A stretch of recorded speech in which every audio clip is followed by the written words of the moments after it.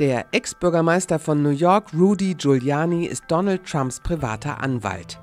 Im Auftrag des US-Präsidenten bemühte sich der 75-Jährige schon Monate vor dem ominösen Telefonat Trumps mit dem ukrainischen Staatschef Volodymyr Zelensky um belastendes Material über Ex-Vizepräsident Joe Biden.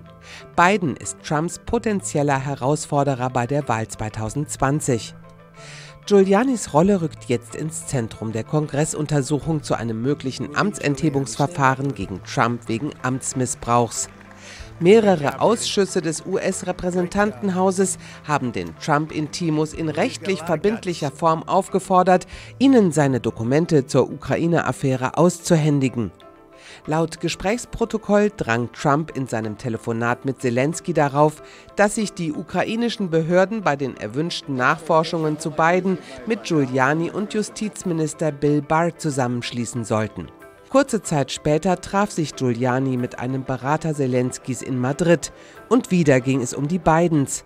Bis heute haben weder Trump noch Giuliani Belege für ihre Verdächtigungen gegen den demokratischen Ex-Vizepräsidenten und seinen Sohn vorgelegt. Den Präsidenten könnte die Ukraine-Affäre nun ein Amtsenthebungsverfahren einhandeln. In Regierungskreisen in Washington zumindest kennt man bereits den Mann, der für das Schlamassel verantwortlich ist. Nicht Donald Trump, sondern Rudy Giuliani.